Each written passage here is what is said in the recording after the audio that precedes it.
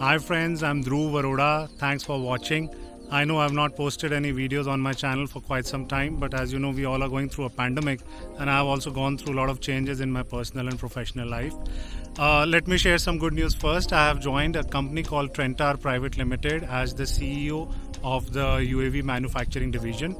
And at Trentar, we are mainly going to focus on design and manufacturing of indigenous UAVs and uh, indigenous UAV subsystems.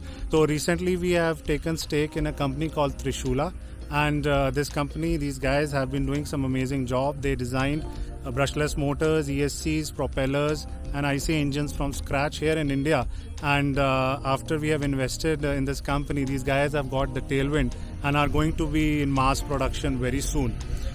Also, we have recently invested in a company called TM Aerospace Private Limited. So earlier, this company was known as uh, TM Aerosports. It's based in Bengaluru.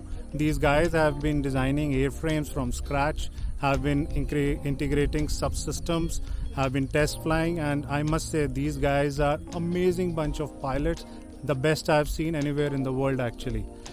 Also, uh, even before I had joined Trentar, Trentar had uh, acquired stake in a company called uh, Garuda UAV. It is a Noida-based company, and they are specifically in UAV-based services. These guys are working in 14 different verticals, and I must tell you again, they are again one of the best UAV uh, services company here in India.